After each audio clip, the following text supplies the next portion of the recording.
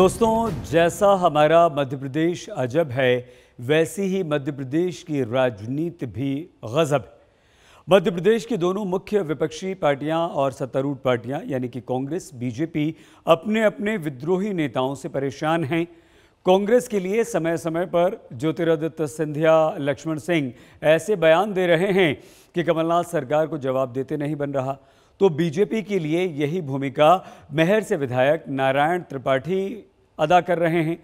जिस सीएए के समर्थन में बीजेपी पूरे राज्य में, मध्य प्रदेश में रैलियाँ कर रही है, उसी सीएए के विरुद्ध नारायण त्रिपाठी ने मोर्चा खोल दिया है। नारायण त्रिपाठी सीधे सीधे ये आरोप लगा रहे हैं कि बीजेपी धर्म के आधार पर हमारे समाज को बांट रही है। विधायक जी की बात माने तो बीजेपी को संविधान फाड़कर फेंक देना चाहिए और इतना ही नहीं, नारायण त्रिपाठी कश्मीर से धारा 370 हटाने का भी विरोध कर रहे हैं। बाबा भीमराव अंबेडकर मैं एक बात यह तो भारतीय जनता पार्टी बाबा भीमराव अंबेडकर के संविधान को फाड़ के फेंक दी। मतलब या तो फाड़ के फेंक दे या फिर उसका पालन करे। तो उसमें लिखा है कि जो हिंदुस्तान है ये सर्वधर्म संभाव वाला है। धर्म निरपेक्ष राष्ट्र। और धर्म निरपेक्ष राष्ट्र में जाति और धर्म के आधार पर कानून नहीं बनाया जा सकता। ये ये धर्म के आधार पर ये बंटवारा उचित नहीं है। जो भी कर रहा है वो गलत कर रहा है।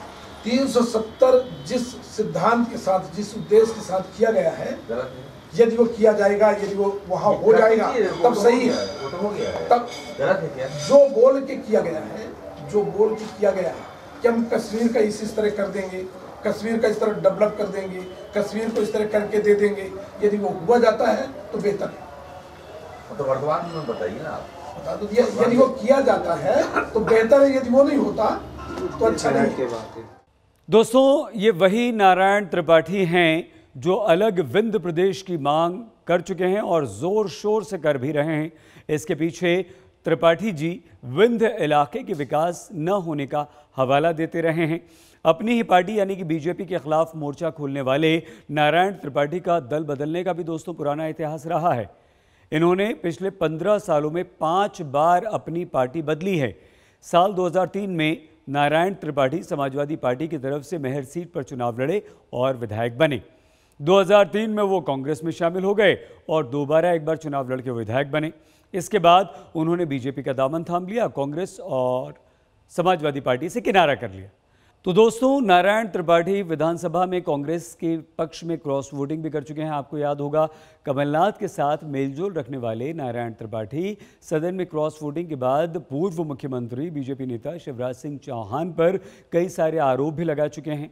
हालाँकि बाद में उन्होंने कहा था कि वो बीजेपी छोड़कर कहीं नहीं जा रहे, बल्कि बीजेपी के साथ ही रहेंगे।